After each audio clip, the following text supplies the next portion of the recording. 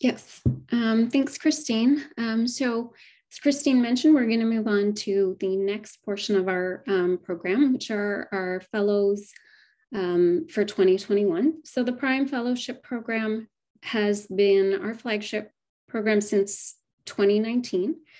Over the last uh, three years, we've been fortunate enough to have some excellent scholars, of which we've funded for a year each. And through our program, which really um, is built for fostering collaboration across disciplines, we've invested in trainees and then helped them with subsequent research funding. And this program then has seen about a five and a half time return on investment um, with the money we've put into these exceptional fellows. And so coming up, you will get presentations, just really high overviews um, of our 2021 fellow programs, uh, projects. And we will start actually with um, a video because one of our fellows is in China right now and the time difference makes it a little bit hard for her. And then we will proceed with the rest of them back to back in lightning talks. So thanks very much.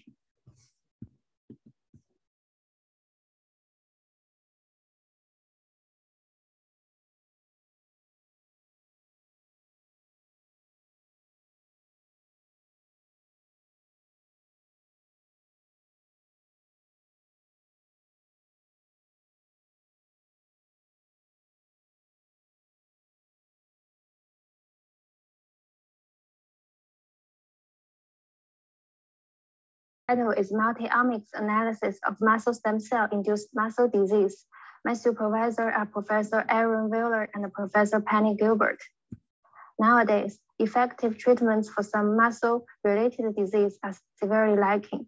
Fortunately, several recent studies suggest that compromised link complex function is a critical step in muscle disease and the Gilbert lab found evidence that muscle stem cell dysfunction may also contribute to this disease. So fully studying the function of the link complex in muscle stem cell is likely to help us find the mechanism of this disease and find a suitable treatment. However, muscle stem cells are quite rare. It's hard to screen them from abundant muscle fibers, and the in-inch property make it even harder. Moreover, the RNA and the protein content in a single cell is very low, which makes the extraction very difficult and make it easy to be adsorbed and lost during the transfer process. Therefore, to meet these challenges, we build a multidisciplinary team. My research focuses on mass spectrometry-based multi-omics. Professor Wheeler is good at microfluidics and single cell analysis. Professor Gilbert is an expert in biomedical engineering and muscle biology. And we aim to use the DISCO system to establish a transcriptome and proteome sample preparation pipeline. Then applying this pipeline to evaluate the mRNA and protein level changes and to explore the expression regulation mode or mechanism of the link complex. Finally, the differentially expressed mRNA and the protein associated with the link complex will be found, and they may be the potential biomarkers or drug targets.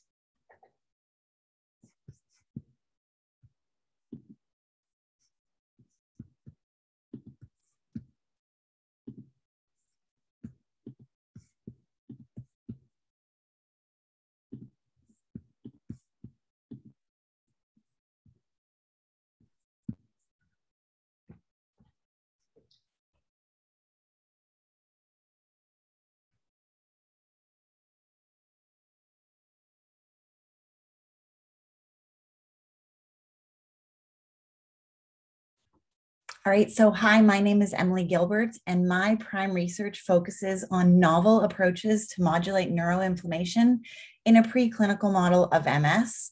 My supervisors for this project are Dr. Cindy Morsehead in the Department of Surgery and Dr. Molly Schoikit in the Department of Chemical Engineering and Applied Chemistry. Next slide. So my work seeks to modulate the pathogenesis of multiple sclerosis Clinically, multiple sclerosis or MS leads to progressive deficits with movement and also cognitive function.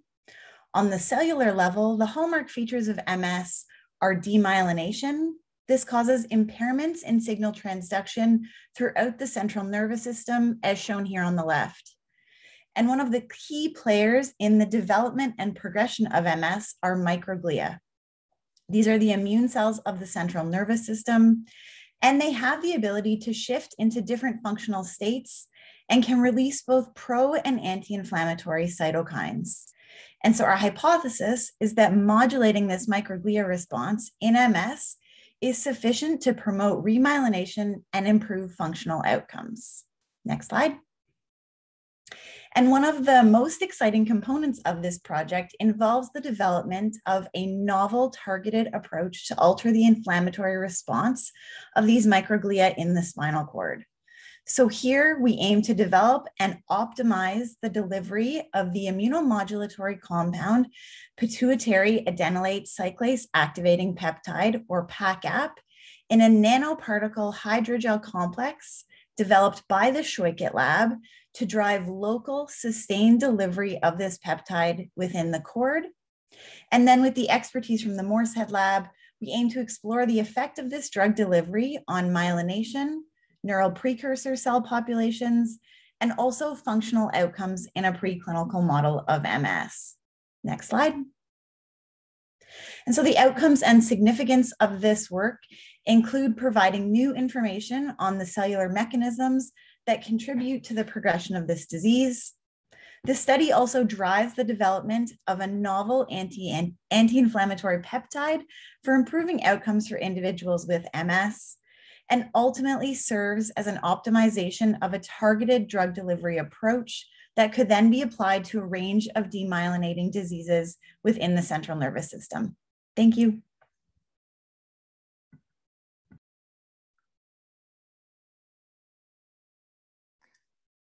Uh, hello, everyone. My name is Jen.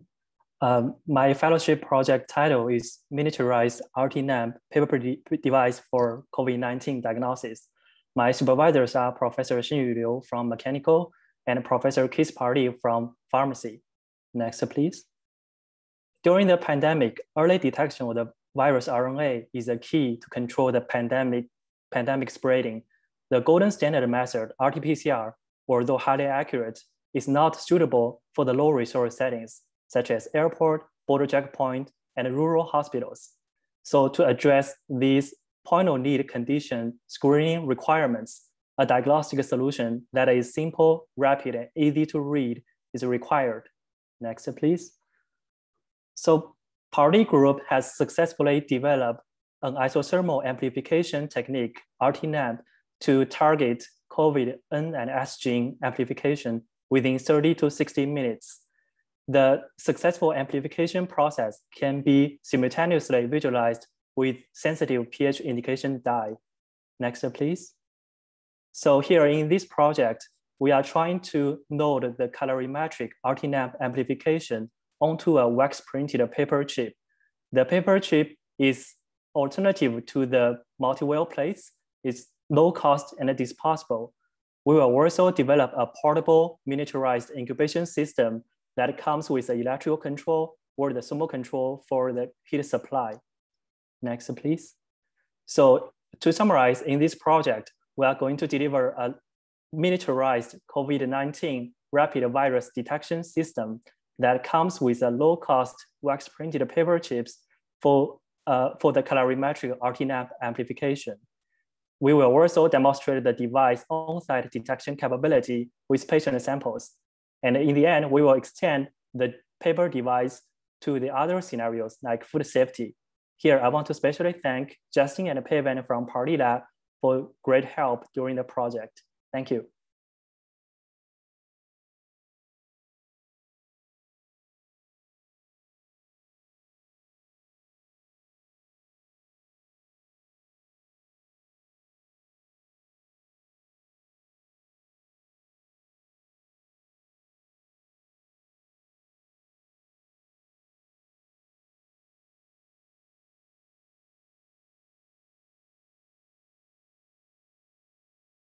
Sorry, I was muted. Uh, hello, my name is Dustin, and my uh, work is on optimization of tri-substitute indisols as antifungals. And I am under the co-supervision of Professor Leah Cowan from the Department of Molecular Genetics and Professor Robert Beatty from the Department of Chemistry. Next slide, please.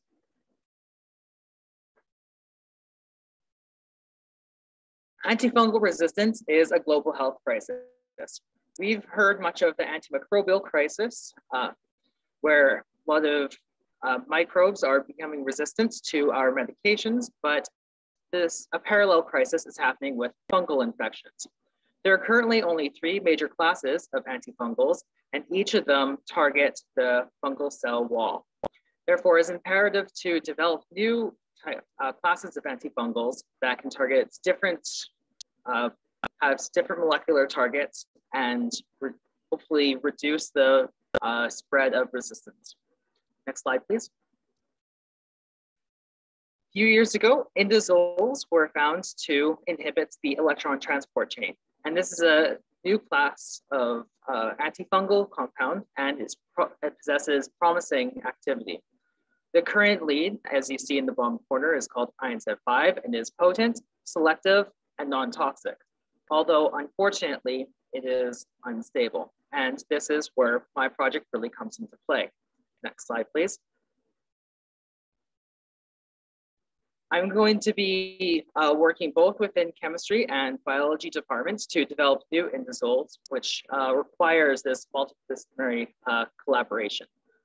Under this uh, regime, I will be uh, designing new drugs, performing synthesis, max, max, mass spectrometry, and metabolic profiling to make sure they're stable, and also performing antifungal testing, protein inhibition, mitochondrial inhibition, and co-cultures to make sure there's selectivity and on-target activity. So the desired outcomes ultimately will be on potency, non-toxicity to mammalian cells, selectivity, stability, and by the end of this time, uh, have one or two compounds ready to submit to animal testing. Thank you.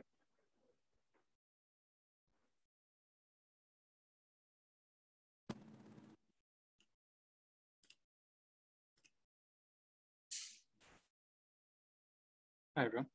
My name is Tudor Radu, and I've been working with Professor Patrick Gunning and Professor Scott Prosser to develop a treatment for fibrolamellar carcinoma.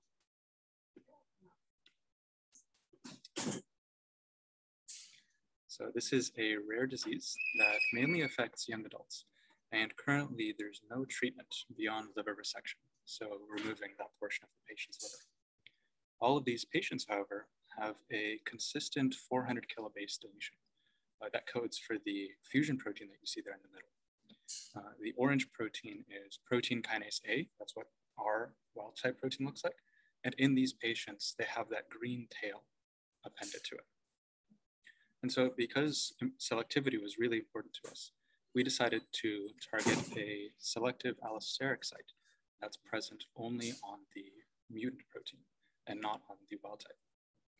So if we could go to the next slide, uh, we performed a fragment screen first in silico, and then we validated our top hits both, uh, so in vitro for both inhibition and selectivity uh, against this mutant kinase, JPRK. We then took that hit compound and we performed an SAR on it uh, to show that we maintained our selectivity and improved our potency. So in the middle there, you can see we went through a kinome screen. Uh, and we also showed that in cells, we can kill the cancerous FLC cells. Those are the ones in red there. Um, and we don't touch healthy liver cells. Uh, furthermore, with the help of Scott Prosser, we were able to show that we bind to this oncogenic kinase allosterically, uh, as we initially predicted. Uh, and so going forward, if we go to the next slide, now that we have a crystal structure, um, we plan on expanding on our SAR in a more directional manner. Um, we also plan on doing 2D NMR studies, which should show us exactly how our ligands affect the protein allosterically. And finally, we plan on doing uh, mouse studies to test both the toxicity and the pharmacokinetics of our drugs before moving on to preclinical trials.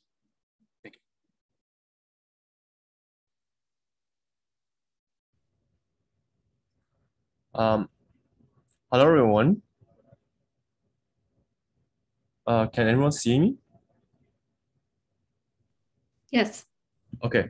Uh, hello, everyone. My name is Rick, and today I'm excited to talk about my project regarding on the use of a heart-on-chip system to model myocarditis. Before I begin, I'd like to first thank all the principal investigator that already is involved in this project. Next slide, please. Myocarditis is an inflammation of the heart muscle, which ultimately leads to heart failure if left untreated. While COVID-19 pandemic has sparked the uh, study of myocarditis, given its prevalence among the COVID-19 patients, the difficulties in establishing a proper diagnosis limited to conduct a large-scale clinical trial to evaluate the potential therapies, including immunosuppressant drugs. So the drawing pipeline of the development for the immunosuppressant medication is mostly attributed to lack of physiologically relevant in vitro model that allowed the synergistic integration of the immune cells in the pre-existing system, and this hinders the exploration of the drugs targeting the immune component. Next slide, please. So to address these limitations, we recently introduced a new heart-on-a-chip microdevice called the INVADE system. This new platform enables us to construct a perfusible vascular channel that also supports the culture of the three-dimensional functional cardiac tissues in the 96-fold format. By strategically incorporating a circulating immune cells in the system, we were able to decode the role of the immune cells associated with heart failure and understand the crosstalk between the immune cells and the cardiac tissues. Next slide, please. So having a myocarditis on a chip model will greatly enable us to screen the possible therapeutics. Combining the analytical um, quantification approach coupled with non-invasive monitoring of the cardiac tissue, we'll be able to identify key molecular pathways that lead to the myocarditis. Ultimately, we would like to use this model as a drug screening testbed to systematically investigate a novel immunosuppressing compound and provide a fast track approach to translate preclinical drugs into the clinical stages. Thank you. Uh, hi, everyone. My name is Ingrid. I'm a PhD student in the Staglier lab, and I study KRAS. Uh, KRAS is a molecule that's uh, at the center of cell signaling pathways. When a cell receives a signal on its surface, the cell surface receptors transduce the signal to KRAS, which then propagates it forward to many cellular uh, signaling pathways. These leads to phenotypes such as cell growth, proliferation, survival, and so on. KRAS mutations are a big problem. There are known drivers of lung, colorectal, and pancreatic cancers, which are three of the four most lethal cancers in North America. Uh, except for one mutation, KRAS uh, so far remains largely undruggable. Next slide, please. So my project aims to use three technologies, MAMMOTH DS, SiMPL-DS, and artificial intelligence to identify inhibitors of KRAS G12D. Next slide, please. KRAS has been difficult to target for three main reasons. Uh, first, it's a small, smooth protein that la lacks deep binding pockets. It has picomolar affinity to GTP, which is difficult to outcompete. And its uh, behavior depends on its interaction with the plasma membrane, and this is difficult to mimic. Because of these challenges, we're taking a new radical approach to trying to target uh, KRAS. In collaboration with Cyclica, we are performing a virtual screen of 1.3 billion compounds to identify uh, molecules that may bind KRAS. We're testing selected compounds using MAMIF-DS and SiMPL-DS, which are assays developed by the Staglier lab. These assays are performed in living cells, so KRAS can be in its native environment. Selected hits will then undergo functional validation under guidance for, from Dr. O uh, using cancer panel cells, cell lines, and uh, signaling assays. The ultimate goal is to identify at least one KRAS targeting inhibitor for preclinical and clinical studies. Thank you.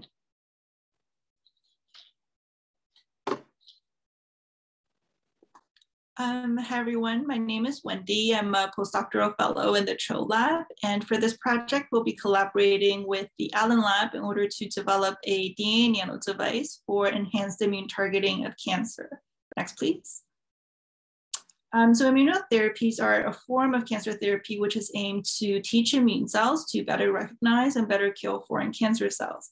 Unfortunately, though, uh, the current efficacy of immunotherapies are still quite low for the majority of patients.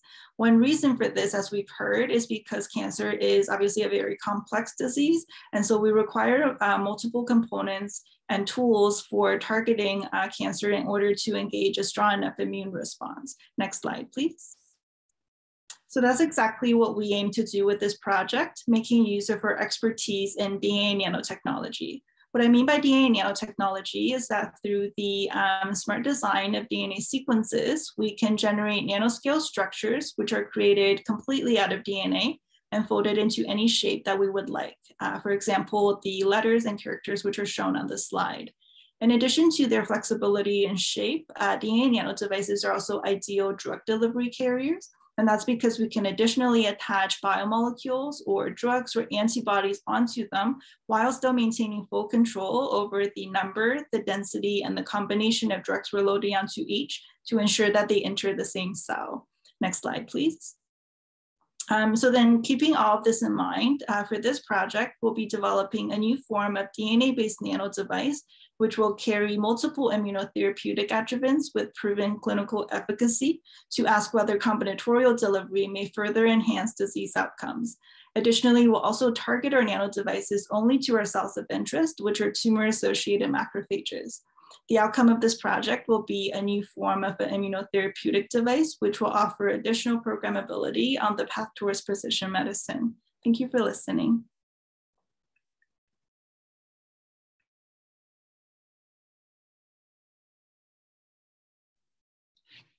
Um, hi everyone, my name is Mila and I'm excited to share with you our PRIME project that combines the expertise of Professor Alison McGuigan and Professor Cheryl Arrowsmith.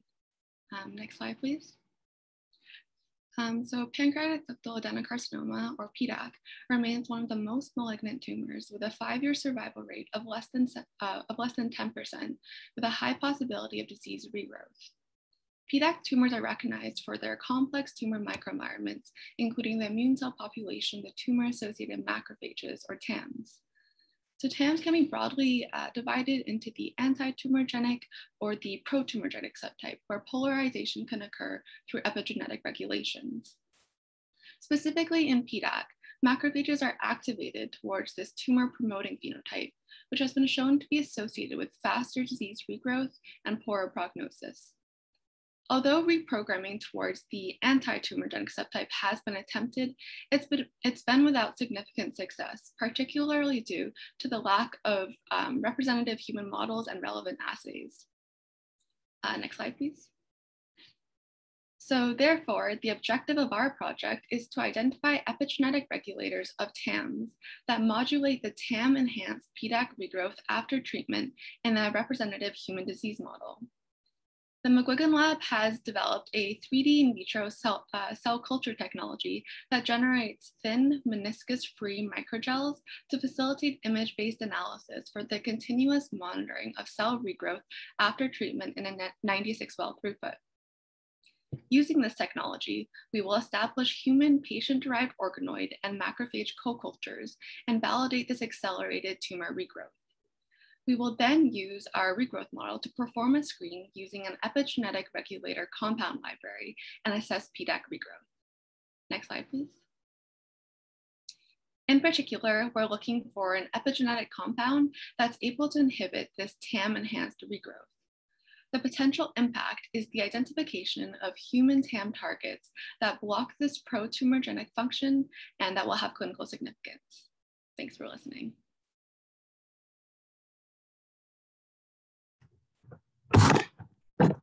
Everyone. Um, I'm happy to give an overview of my project, which is a collaboration between Dr. Alan Cochrane and uh, Dr. Walid Houdi on discovery of broad spectrum anti-coronavirus therapeutics. Next.